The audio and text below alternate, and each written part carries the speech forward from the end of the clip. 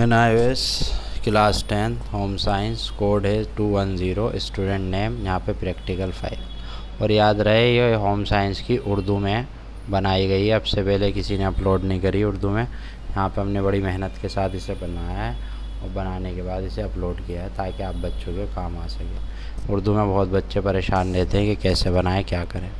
तो मुतवाज़न गज़ा, home science के बारे में गज़ा मुतवाज़न कैसे लेनी चाहिए, आप इसे यहाँ पे लिखेंगे पूरा। गज़ा की तारीफ़ है, उसे लिखेंगे, फिर उसके बाद गज़ा से रिलेटेड एक फ़ोटो है, आप फ़ोटो डाउनलोड कर लेंगे इसी तरह का, थाली के अंदर बहुत सारे खाने। फिर उसके बाद जो है, गज़ाइयात को इग्नोर की अहमियत, फिर उसके बाद ख़ानदान की में गज़ा देना। फिर उसके बाद जो है इसी तरह एक और पिक्चर्स है आप इसे जूम करके भी देख सकते हैं, जिसके अंदर बहुत सारी सब्ज़ियाँ वगैरह हैं। फिर उसके बाद यहाँ पे सभी मतवाजन गज़ा का इस्तेमाल कैसे करना है, सारी बात आप लिख देंगे। फिर इसके बाद हम आगे आएँगे, इसके अंदर ये बनाना है आपको बना हुआ है, फ़ोटो खींच लें आप इसका और प्रिंट निकलवा लें। इसके बाद मतवाजन गज़ा की कमी में नुकसान और फ़ायदे, नुकसान यहाँ, फ़ायदे यहाँ दे रखें और नुकसान उसके बराबर में। आप यहाँ से लिख सकते हैं, इसी तरह लाइनें ड्रॉ करेंगे। और पोर्शंस और रिलेटेड ये सारी पिक्चर्स यहाँ पे दे रखी हैं। ठीक है, उसके बाद अगले पेज पे भी आपको ऐसे ही करना है। फिर उसके बाद यहाँ पे पिक्चर है vitamin A vitamin B vitamin D ये सारे हैं। फिर उसके बाद एक जवान के लिए एक दिन की गज़ा क्या होनी चाहिए? ठीक है, वो पूरे यहाँ पे दे रखी है। आप आसानी से यहाँ से लिख सकते हैं। इसके बाद यहाँ एक फ़ोटो लगा देंगे।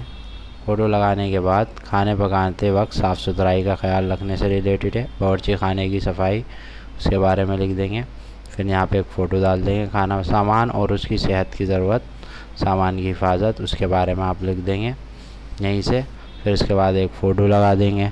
फिर आगे चलेंगे कुछ ज़रूरी सामान और उसकी अहमियत, स्कूल के बारे में, हॉस्पिटल के बारे में और फिर उसके बाद एक फ़ोटो है।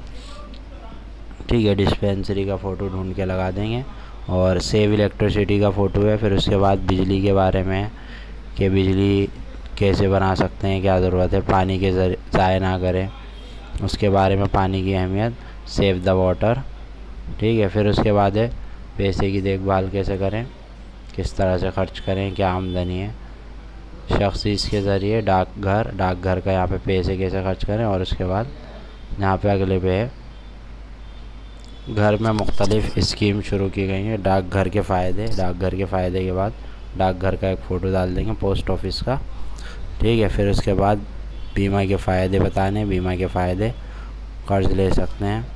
फिर इसके बाद यहाँ पे अगले में L life insurance corporation of India के बारे में बताया और दूसरा भी दिखाया।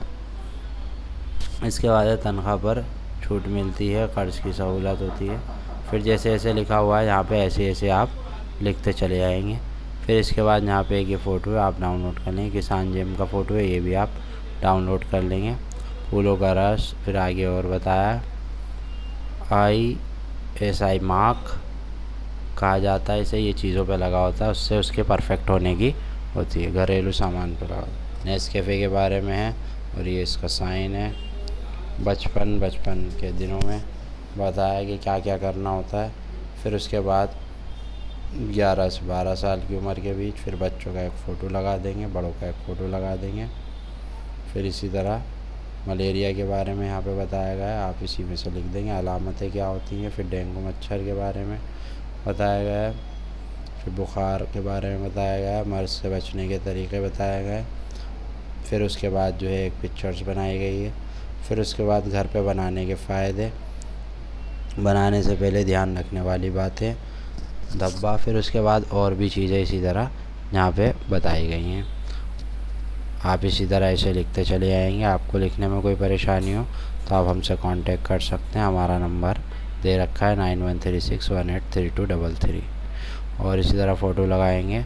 मसालेदार भिंडी के बारे में बताया गया है, कैसे बनती है। इसके बाद यहाँ पे एक फ़ोटो भी दिया गया है उसका। फिर उसके बाद है, रसगुल्ले कैसे बनते हैं।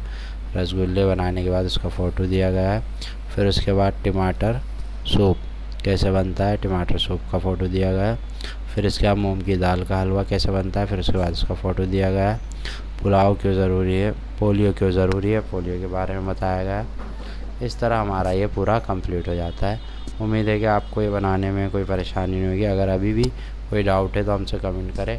एडमिशन से रिलेटेड कुछ भी बनवाना हो, एडमिशन करवाना हो या कोई और चीज़ हो असाइनमेंट प्रैक्टिकल जैसे जैसे आपको बनवाने आप हमसे कांटेक्ट कर सकते हैं कमेंट करके भी बता सकते हैं। और अगर आपको रिज़ल्ट निकलवाना है असाइनमेंट बनवाने हैं प्रैक्टिकल बनवाने हैं, उसके लिए भी कांटेक्ट कर सकते हैं। या किसी भी तरह की क्वेरी है तो आप हमसे कांटेक्ट कर सकते हैं। उम्मीद है कि वीडियो